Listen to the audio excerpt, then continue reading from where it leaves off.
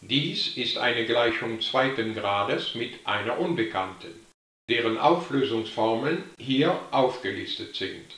Zuerst müssen wir die Werte von a, b und c sicherstellen.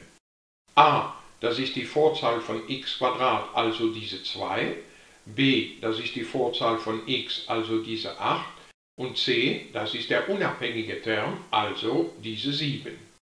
Die Diskriminante Delta wird berechnet durch b minus 4ac. Hier also durch 8 im Quadrat minus 4 mal 2 mal 7. Und diese Rechnung ergibt 8. Die Diskriminante Delta ist streng positiv, also sind wir im dritten Fall. Diese Gleichung hat also zwei verschiedene Lösungen. Die berechnen wir durch minus b plus minus Quadratwurzel von Delta geteilt durch 2a.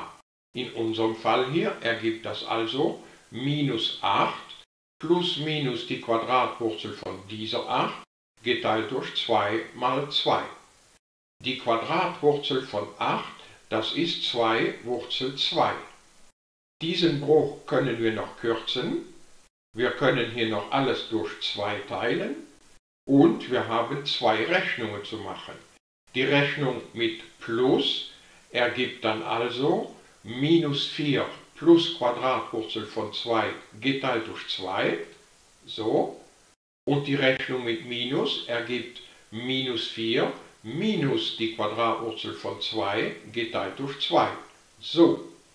Diese zwei Antworten kann man auch nicht mehr kürzen oder einfacher schreiben, also stecken wir sie in die Lösungsmenge hinein.